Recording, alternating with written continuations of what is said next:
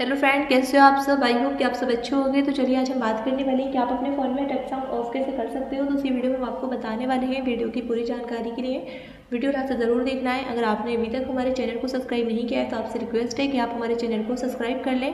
बहुत simple simple step है जो आपको देखनी है फॉलो करनी है। आइए वीडियो स्टार्ट करते हैं। आप अपने फ़ोन में टच साउंड ऑफ़ करने के लिए सबसे पहले अपने फ़ोन की सेटिंग को ऑन करेंगे। सेटिंग ऑन करने के बाद में यहाँ से आपको काफ़ी सारे ऑप्शन देखने को मिल जाते हैं जिसमें से यहाँ से आपको एक ऑप्शन देखने को मिल जाता है साउंड का। आपको साउंड पे क्लिक करना है साउंड पे क्लिक करने के बाद में यहाँ से आपको एक ऑप्शन देखने को मिल जाता है यहाँ पे। टच साउंड का, आपको टच साउंड पे क्लिक करना है। क्लिक करने के बाद में यहाँ से आपके फ़ोन में टच साउंड ऑफ़ हो चुका है। तो बहुत ही सिंपल है। इसी के अकॉर्डिंग आप अपने फ़ोन में टच साउंड को ऑफ़ कर सकते हो। आई होप कि आपको वीडियो अच्छी लगे। वीडियो अच्छी लगे तो वीडियो को लाइक करें शेयर करें। चैनल पर नए हो तो चैनल को सब्सक्राइब करें। मिलते हैं अगली नेक्स्ट इंटरेस्टिंग वीडियो के साथ। तब तक के लिए बाय एंड टेक केयर